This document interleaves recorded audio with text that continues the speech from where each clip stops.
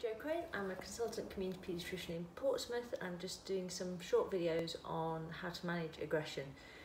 This is just a really short video on what I call teach not preach, which is about how when our kids are angry and aggressive, we sometimes have a tendency to kind of tell them off or to talk at them, say, will you stop just doing that? Will you please do that? You know, and talk a lot, which is what I call preaching.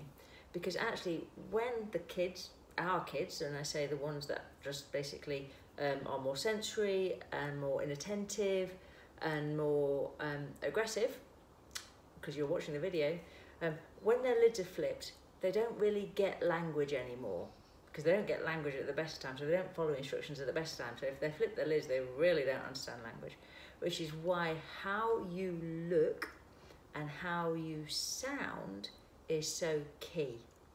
So that's what I say. So when I say teach, is you're modelling what you want the child to see, because if you can model calm, you can affect how that downstairs brain works and help them learn to get that brain down.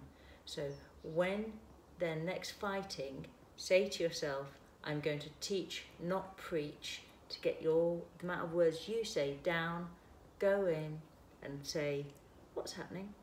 Okay, good luck. I know it's really, really, really hard, but thank you very, very much for listening, and I do hope they've been of some use.